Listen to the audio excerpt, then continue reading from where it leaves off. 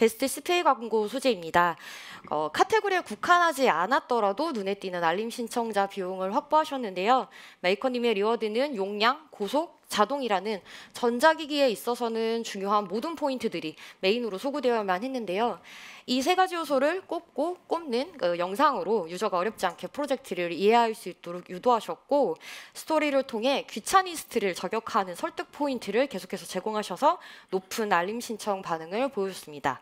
해당 소재는 CTR 5% 이상을 보여줬고요. 1,100원대의 알림 신청자당 전환 비용을 기록했습니다. 네, 다음은 어, 테크 가전 스포츠 모빌리티 카테고리입니다. 그 테크 가전 스포츠 모빌리티의 핵심은 변별력 제공인데요. 테크 시장에는 유사한 제품들이 굉장히 많이 쏟아지고 있습니다.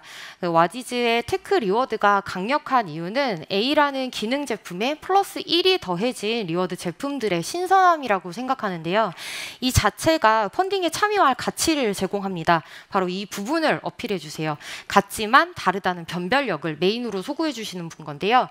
어, 광고 소재를 제작하실 때 레이아웃의 복잡성은 불필요합니다. 지금 소재를 보셨으면 어, 휴대용 선풍기가 시원해야 하는 건 당연하고요. 그 바람의 크기를 영상으로 보여줌으로써 다른 휴대용 선풍기보다 더 강력하다는 것을 아주 단번에 인지시켜주는 광고 소재입니다. 이런 변별력을 바로 인지할 수 있도록 어, 소재에 녹여주시고 이 상세한 설명은 스토리에 양보하시는 게 좋을 것 같습니다.